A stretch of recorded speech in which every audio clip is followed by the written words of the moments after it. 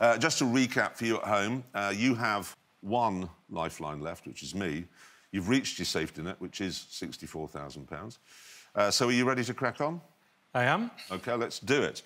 Um, obviously, this is a bit of a free shot because you're sitting on your safety net now. You have nothing to lose, even if you get this wrong. This is the question for £125,000.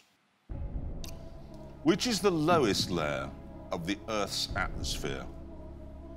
Stratosphere, troposphere, mesosphere, or thermosphere?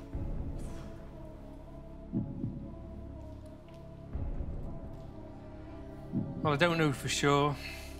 Uh, I did do geography A level, but the only ones I remember from geography at A level were the stratosphere and the troposphere, and there was an ionosphere above them. That was in 1926, I should imagine. It was. I don't know what the thermosphere or the mesosphere are. You've got one remaining lifeline. I know you're desperately unwilling to use Sa- it. no, I'm unwilling to sacrifice it. Extremely tactful. Um, And I'd prefer to use it later on if I'm of course. successful. Of course. I think I'm going to have to say troposphere because that's the that's the one which I remember in school. If they've invented some extra layers since 1926, I'll have to suffer the consequence of that. But it is a free shot, so free shot. Here we go. So troposphere, final answer.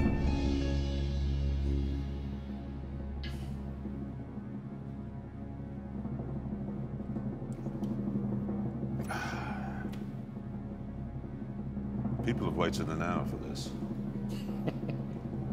and rightly so, because that is the right answer. £125,000.